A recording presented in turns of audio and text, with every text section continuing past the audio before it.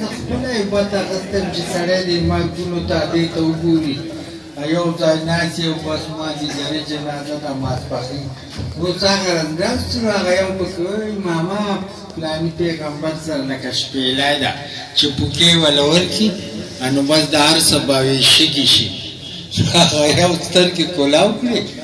وی ماما ته واکو خدای په ټوخی را نه ولي چې بیا څه په کڅل شي نو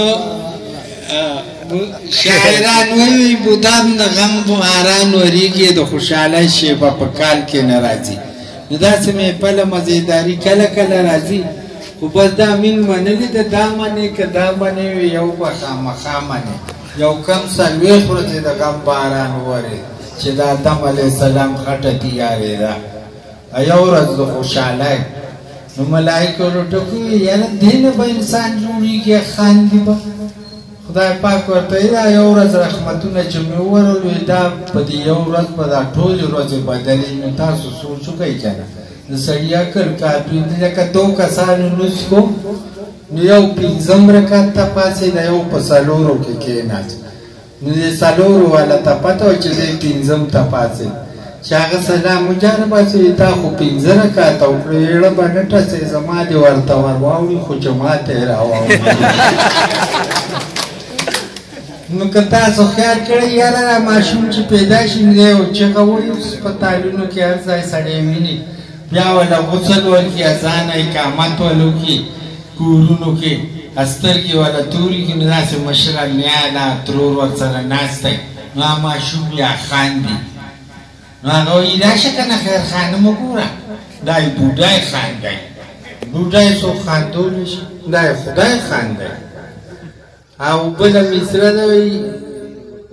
عشق چې جاړي عشق نه وي عشق هغه وي چې انګار کې موسکی شي په ابراهیم علیه السلام نه عباس شوی دی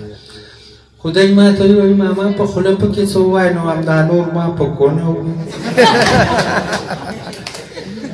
د مردان نه یو هلک راغلی و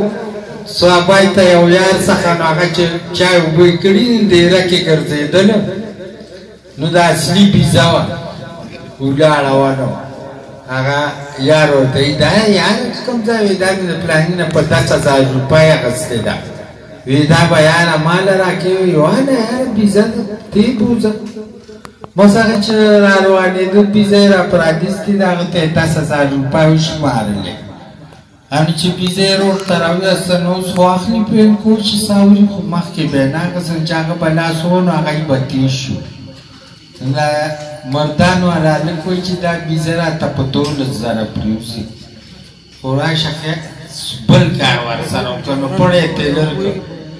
نو څلور واړه خپې وله وتړل خپل څادر یې پرې واچو نو هغه پلوې وله وتړه دا بله لاش یې ترې جوړ کړ د غاز لاندې اچولې ده، دې کې ډریور راغی، پلیټ کوچ والا هغه ته یې لاس داسې کړ، نو هغه ورسره برېک ونیسه، یې چېرته ځې ځوانه؟ یې دا نیا مې ناجوړه ده، دا هسپتال ته بیایم. ویې راوچته یې کړه، ویزه یې راوچته کړې ده، یاره هغه څلور واړه سوی بار و، نو ډریور خو ورته کتل په شیشه کې.